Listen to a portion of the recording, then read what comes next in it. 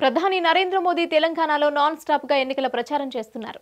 తమ పార్టీ అభ్యర్థుల గెలుపు కోసం తీవ్రంగా కృషి చేస్తున్నారు. మూడు రోజులుగా తెలంగాణలో అనేక సభల్లో పాల్గొన్నారు. బీజేపీ శ్రేణుల్లో ఉత్సాహం నింపే ప్రయత్నం చేశారు. కొన్ని ప్రాంతాల్లో తెలుగులో మాట్లాడుతూ ఓటర్లను ఆకట్టుకునే ప్రయత్నం కూడా చేశారు మోడీ. తెలంగాణలో గత కొంతకాలంగా బీజేపీ గ్రాఫ్ దారుణంగా పడిపోయింది. బండి సంజయ్ను పార్టీ అధ్యక్ష బాధ్యతల నుంచి తొలగించి కిషన్ రెడ్డికి పగ్గాలు అప్పగించేసరికి బీజేపీ క్యాడర్ పూర్తిగా నీరసించిపోయింది. బీజేపీ పార్టీలోని చాలా మంది కార్యకర్తలు అధిష్టానం నిర్ణయం నిర్ణయం పట్ల తీవ్ర అసంతృప్తిగా ఉన్నారు. పార్టీ కార్యక్రమాలకు కూడా దూరంగా ఉన్నారు. ఈ నేపథ్యంలో జాతీయ నాయకులు రంగప్రవేశం చేశారు. నరేంద్ర మోదీ అమిత్ షా జేపీ నడ్డా తదితరులు ఎన్నికల ప్రచార బరిలోకి దిగారు. కార్యకర్తల్లో ఉత్సాహం నింపుతున్నారు. నరేంద్ర మోదీ ఏకంగా మూడు రోజుల పాటు తెలంగాణలోనే ఉండిపోయారు.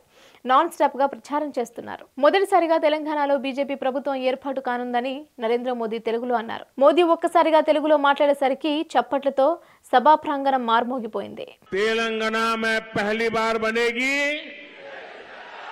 तेलंगाना में पहली बार बनेगी तेलंगाना में पहली बार बनेगी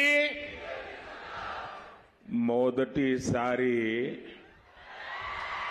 తెలంగాణలో